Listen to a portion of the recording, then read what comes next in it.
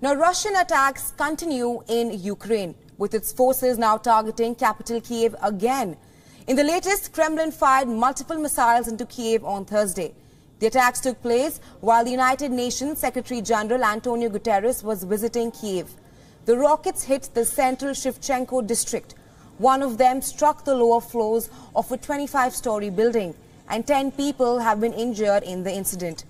Remember, Kremlin had pulled back its troops from the capital in early April. But the shelling highlights how Kiev remains vulnerable to Russian attacks. The latest blast happened right after Guterres wrapped up his meeting with Ukrainian President Volodymyr Zelensky, who admitted that UN Security Council failed to do everything in its power to prevent and end the war. Listen in. The Security Council failed to do everything in its power to prevent and end this war. He also assured the United Nations is doing everything possible to ensure an immediate ceasefire and further reiterated the absurdity of the war in the 21st century.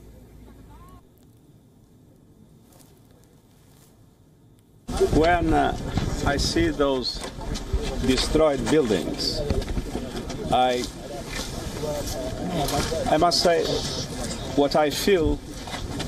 I imagine my family in one of those houses that is now destroyed and black. I see my my granddaughters running away in panic. Part of the family eventually killed. Ukraine, meanwhile, lashed out against the attacks on the capital, with Ukrainian foreign minister condemning the bombing as a heinous act of barbarism by Kremlin, highlighting that it once again demonstrated Russian attitude towards Ukraine, Europe and the world. Zelensky has pointed out that after the latest attacks, it has been proved that Ukrainians must not drop their guard. Російські ракетні удари по Україні, по Києву, Фастову, Одесі, Хмельницькому та іншим містам вкотре засвідчують, що не можна розслаблятись, не можна думати, нібито війна вже закінчується. Нам ще потрібно боротись, ще потрібно гнати окупантів. Now, discussions between Zelensky and Guterres focused on evacuating Ukrainian fighters and civilians holed up in a steel plant in Mariupol. On Tuesday, Putin had agreed to the involvement of the UN and Red Cross to evacuate the plant. Ukrainian officials worry that Russia wants to capture those trapped inside. However, Russia has denied this allegation. Meanwhile, United States President Joe Biden has asked Congress for a $33 billion support to Kiev. This is a massive jump in funding, which includes over $20 billion of weapons, ammunition, and other military aid. The package intends to cover the needs through September.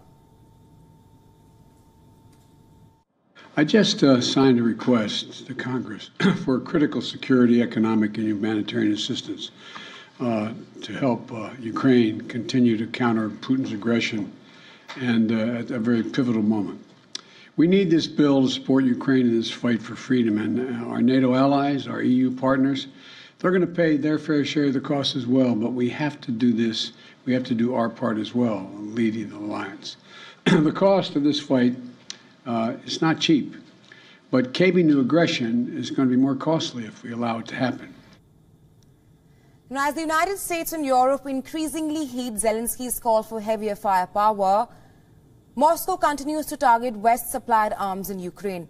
Russia's defense ministry said that its troops has fired missiles at six arms and fuel depots in Ukraine and destroyed them and stated that Russian forces had hit 76 Ukrainian military facilities in total.